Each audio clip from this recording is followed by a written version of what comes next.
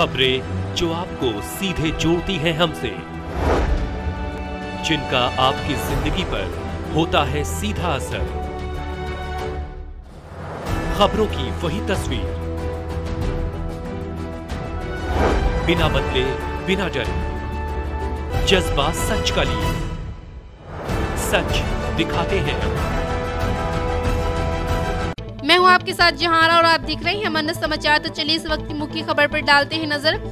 मुजफ्फरनगर, उत्तर प्रदेश में काशीराम विचार यात्रा बड़ी धूमधाम से निकाली गई।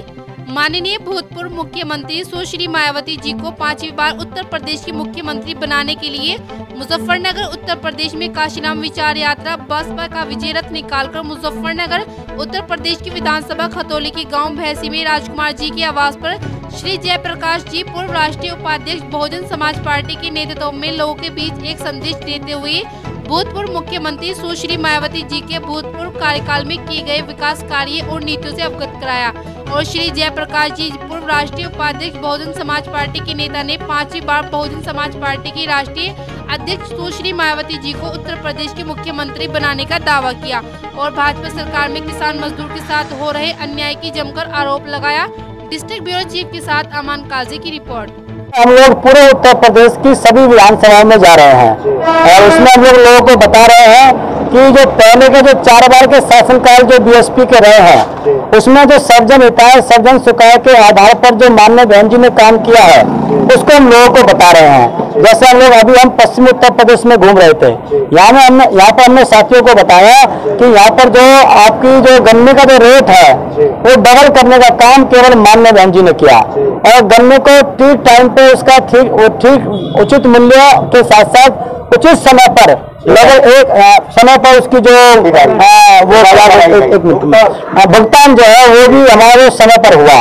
तो ये सब बातें हम सब समाज में बता रहे हैं। तो ये कार्यक्रम हम लोग का चल रहा है। नहीं हम तो पहले भी आ चुके हैं सुमित प्रजापति जी के माध्यम से। आज हम यात्रा जो है ये मुजफ्फरनगर की तरफ़ से हम लोग आ रहे थे तो पहली बार हम इस यात्रा को लेकर हम पहली बार प्रवेश हुए हैं। तो इसके बाद ये इस, प्रकार से घूमती हुई ये मीरापुर की तरफ़ चली जाएगी। तो सभी समाज के इसमें समर्थन में है सभी लोग और हमारी जो मीटिंग्स हैं जो यात्रा की जो मीटिंग्स हैं वो सभी समाज में हो रही है। जैसे पीछे हमारे जो ब्राह्मण समाज में जो त्यागी समाज होता है उसमें हमारी मीटिंग हुई है मुस्लिम समाज में मीटिंग हुई है गुजर समाज में मीटिंग हुई है, सैनी समाज में मीटिंग हुई है, सभी समाज के लोगों में ये मीटिंग चल रही है। तो बहुत अच्छा माहौल है और सभी समाज के लोग अब की बार कह रहे हैं कि पांचवी बार बसपा सरकार आनी चाहिए, जिसमें उम्मीद लग रही है कि कम से कम साढ़े तीन सौ सीट जो है, माननीय बहन जी को अब की बार मिलेंगी और पांचवी बार मुख्यमंत्री रहेंगे। तो महँगाई को लेकर चल रहा है, बीजेपी सरकार में इतनी महँगाई हो गई, पेट्रोल के रेट बढ़ गए। क्या आपको रेस्पॉन्स मिल रहा है जैसे हाँ हाँ के बीच में हाँ बिल्कुल बिल्कुल वो उनका ये कहना है जैसे कि हमारे साथ में छात्र नेता चौधरी चरण सिंह यूनिवर्सिटी के छात्र नेता नितेश पवार गुज्जर जी हैं और प्रोफेसर साहब हमारे भगवान सिंह यादव जी हैं तो सभी जो लोग हैं वो वो उस बात को बताते हैं। जैसे कि उन्होंने खुद बताया पीछे अभी कि देखो खाद का रेट बढ़ा दिया गया डीजल का रेट बढ़ा दिया गया लेकिन फ़सल का रेट वहीं पर है। तो ये जो महँगाई जो की जा रही है इसका उद्देश्य ये है कि आप, ये जो खेती के खेती के पैसे से जो अपना आप मकान बना लेते हो तो वो मकान नहीं बनने देना चाहते हैं। तो फ़सल का रेट तो वहीं पर स्थिर है और सब चीज़ महँगी कर दी है। तो ये ये इन डाउट वे में आपको सारा पैसा वापस लेकर गवर्नमेंट आपके पास केवल इतना छोड़ेगी कि आप हमसे पाँच किलो अनाज ले लो और चार किलो गेहूँ ले लो और चावल ले लो। तो ये पूरे देश में जो है समाज को ये आशित करना चाहती है। तो महँगाई से लोग परेशान है, भ्रष्टाचार से लोग परेशान है। सपा जो थी, उसमें अत्याचार था, लेकिन भाजपा में तो हत्याचार है। सारी हत्याएँ हुई है। छह हज़ार ब्राह्मणों की हत्या हुई, सात सौ गुजरों की हत्या हुई। सभी वादी ऐसी कोई वादी नहीं है, जिसकी हत्याएँ ना हो रही हो। तो सभी लोग परेशान है। महँगाई से भी, भ्रष्टाचार से भी, अत्याचार से भी, अत्याचार से भी, सभी चीज़ से लोग परेशान है। मुख्यमंत्री बनेंगी, आपकी सरकार आएगी।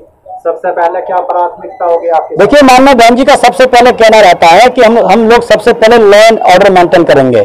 क्योंकि पूरे प्रदेश में भय का माहौल व्याप्त है। सबसे पहली बात जो आदमी मेंटली रूप से जो प्रेशर में रहेगा या गुलाम रहेगा या डर में रहेगा, वो कभी भी अच्छा जीवन नहीं जी सकता है। तो राइट ऑफ़ लिबर्टी जो है संविधान के अंदर तो सबसे पहले उसके लिए मान्य बहन जी ने कहा।